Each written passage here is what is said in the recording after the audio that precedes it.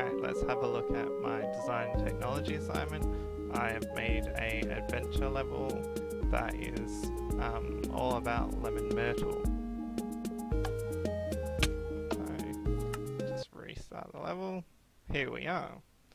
Okay, welcome. This is a tour of lemon myrtle. Lemon myrtle has a nice scent, is edible and Aussie.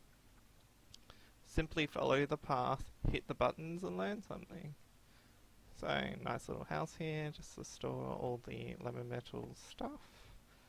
It's natively found in Queensland but grows in many other climates and can be farmed. Nice little distribution map showing where it natively grows.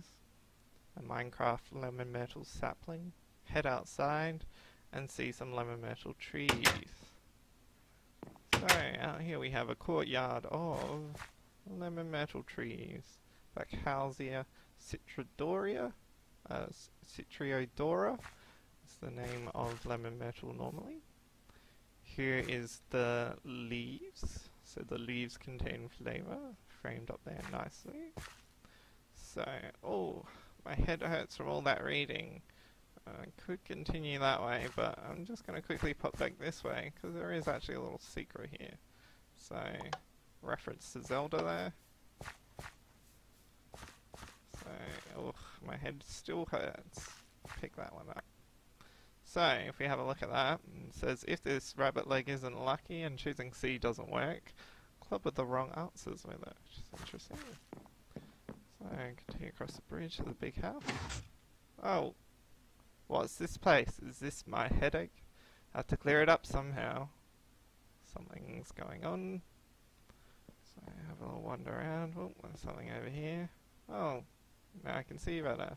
Uh, landscape has dramatically changed, so now it's all sandstone and clay, but there is a chest here and some water.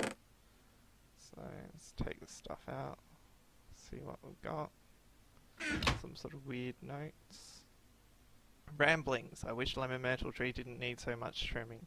At this rate, I'll grow to it'll grow to 20 meters if I don't keep up with the trimming. At least I can use leaves I trimmed with water to make a lovely herbal tea. It even helps with headaches. Okay, so, well, I have a headache, so let's take some water. Now I've got to go get some leaves. Now, because it's adventure mode, I can't actually destroy anything, but I'm assuming I got these shears for a reason. Oh, yeah.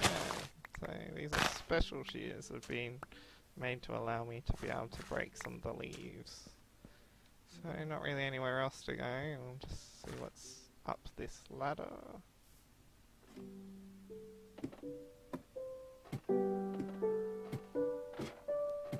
Twenty meters is pretty tall. And in comes the music. Alright, the tea room. Brew your own blend. Some water and some leaves should do it. There's a big teacup here. Let's chuck in the water and some leaves. Ah, that should help. Now we're somewhere else. Quiz time. Did you learn much today? I wouldn't suggest making mistakes. Well, I do have a rabbit's foot, which is to help with making mistakes, so I'll just keep that out. Where does lemon myrtle come from? Queensland, New Zealand, or South Africa? Just for fun, we'll say New Zealand. Oh. Oh, so he's telling us that we're wrong. He's got lemon myrtle leaves, and he looks like lemon myrtle wood. So, let's, let's not die. Okay, just kill him. And gave us some lemon myrtle leaves. Alright. How... Well, I guess we should answer that one correctly. So Queensland. Nice little bing there. How tall can a lemon myrtle tree grow? Well, it took forever to climb up. So, tallest one. What use does it have other than flavouring? Keep cats away, make rubber, traditional medicine. Well, got rid of my headache. Thank you for playing from Ribena. So Ribena is my Minecraft name. Um, so nothing else here, just a little acknowledgement up here. So I've said thank you to SethBling, he does lots of um, redstone work on YouTube and provides some filters and stuff like that for using with other tools such as MCEdit. Dragon Oz, who also does lots of YouTube videos that are helpful. Many people on the Minecraft forum um, who've asked questions and others have helped them, so that's assisted me reading theirs. Worldpainter, which allows you to adjust biomes and change the overall look of an area, so that's how I achieved the sandstone and clay area um, with the little island without having to go around and search for one. BDCraft allowed me to create the pretty models like this one um, and the cup and be able to position them in special places.